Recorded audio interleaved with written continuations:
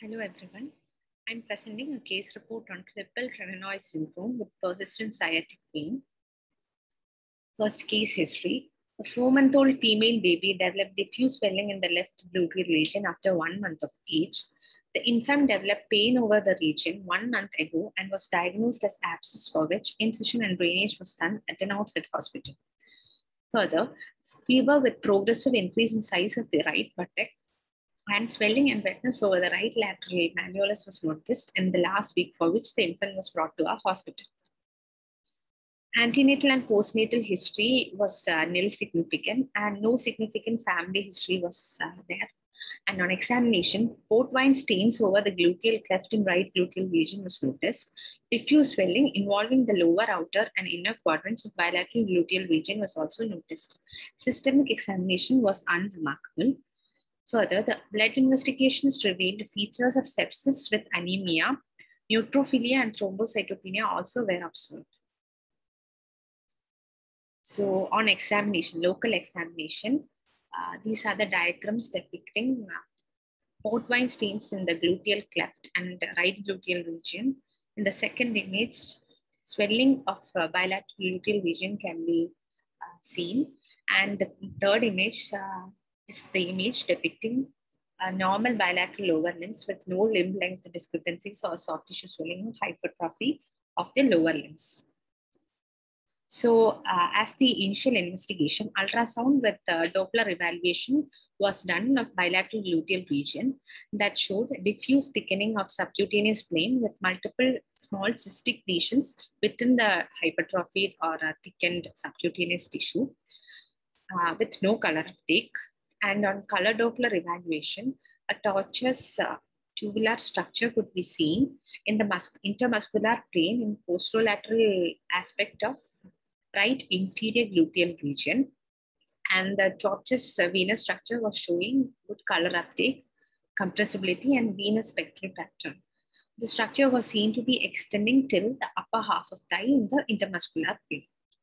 And the possibility of the vein coursing adjacent to the sciatic nerve was also considered.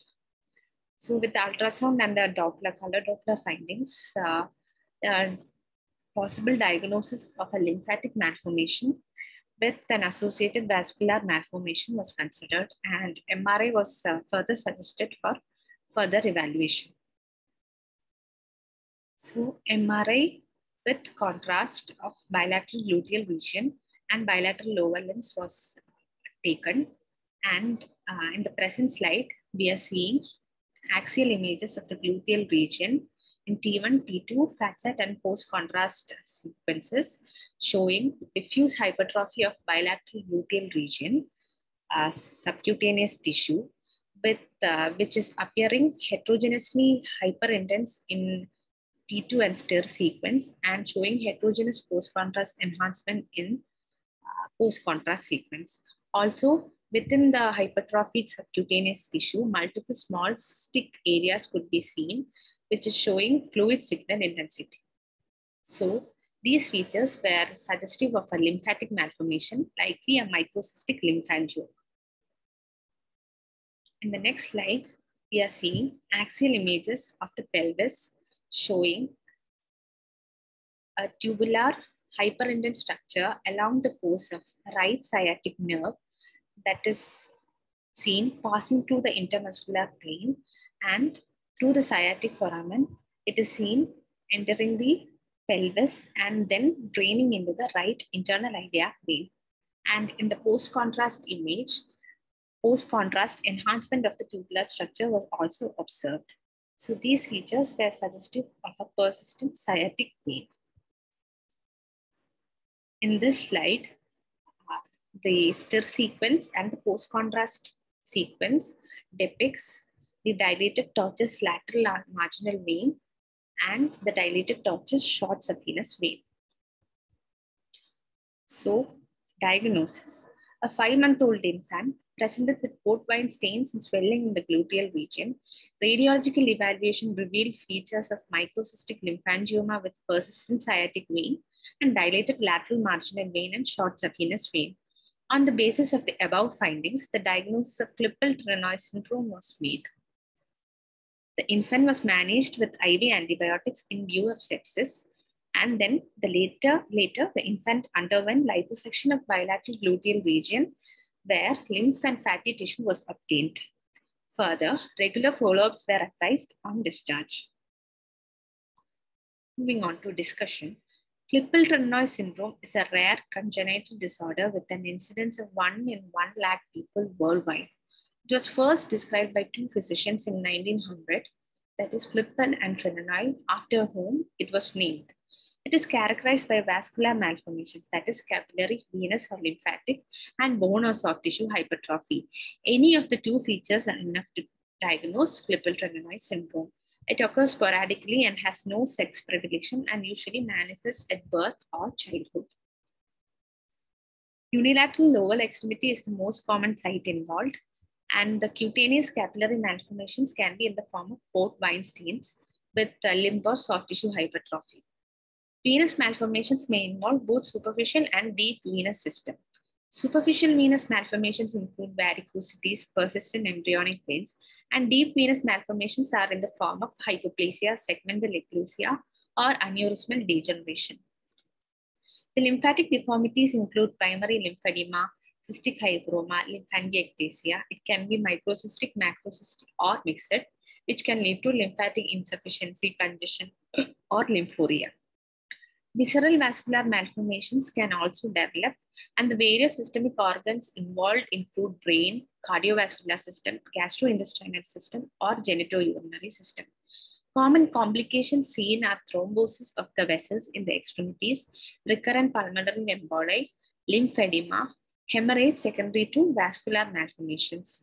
The etiology is still unknown, but it has been hypothesized that it could be caused by a mesodermal abnormality during fetal development. Persistent embryonic veins are characteristic for Klippel-Trenaunay syndrome, in which the lateral marginal vein and persistent sciatic vein are more common and usually they should regress before birth. The lateral marginal vein is a superficial vein, whereas the persistent sciatic vein is part of a deep venous system. During embryonic life, the large primitive axial vein drains the lower extremity. When there is persistence of this axial vein, which normally should regress, it is defined as the persistent sciatic vein. The persistent sciatic vein is found in three morphological forms, complete, when the persistent sciatic vein arises from popliteal vein, ascends to traverse the sciatic notch and terminates draining into the internal iliac vein. Upper persistent sciatic vein arises from the minor tributaries of upper thigh and passes through sciatic notch to end in pelvis. And lower PSV is seen in the distal and middle third of thigh and opens into deep femoral veins.